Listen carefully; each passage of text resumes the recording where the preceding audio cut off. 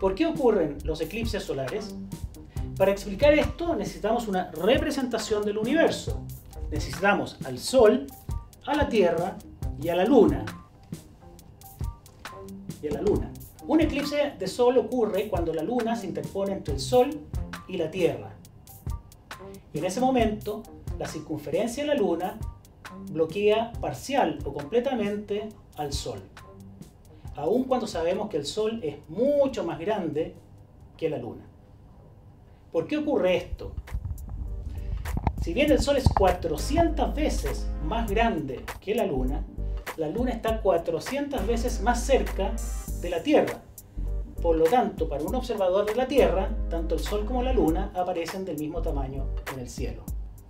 Si la órbita de la Luna fuese perfectamente circular y su plano orbital coincidiera exactamente con el plano de la órbita de la Tierra, todos los meses ocurriría un eclipse de Sol en la fase de luna nueva. Sin embargo, la órbita de la Luna está algo inclinada respecto a la órbita de la Tierra. Y no siempre la alineación es perfecta. Pero cuando sí es, ocurre un eclipse de Sol. Y en ese momento, la sombra de la Luna se proyecta sobre la superficie de la Tierra. En promedio, un eclipse solar ocurre dos veces al año y puede ser observado de distintos puntos de nuestro planeta.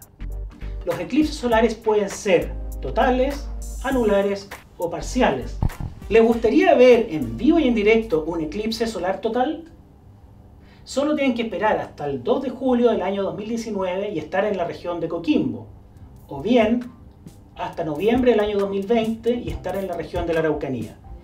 En ambas ocasiones, la Tierra, la Luna y el Sol estarán alineados perfectamente y ustedes podrán observar un eclipse solar total.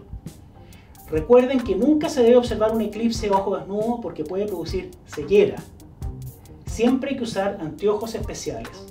Entonces, quedan todos y todas cordialmente invitados a disfrutar de esta experiencia con que nos deleita la naturaleza.